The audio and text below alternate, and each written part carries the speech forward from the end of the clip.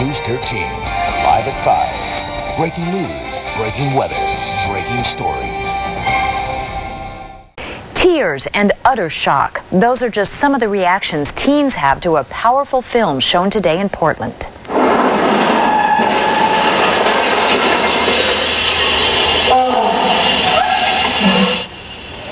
You're listening to the beginning of Point of No Return. It's a documentary about the dangers of drinking and driving. Students at McAuley High School got to see it, and you can see from their reactions it really hit home. That film shows different scenarios while using local actors, like teens getting someone to buy them beer, going to parties, some people getting arrested, and it ultimately ends with a deadly crash. Students at this all-girls school say they will think twice about their choices. It was eye-opening. I there's no words to explain it. It terrified me. It was honestly the scariest movie I've ever seen because it felt so real.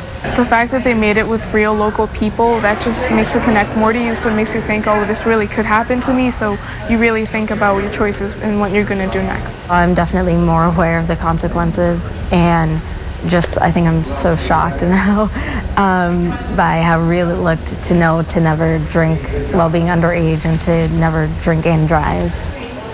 The Kennebunk Chief of Police, along with a production company in Kennebunk, produced the film. They plan to show it at more schools.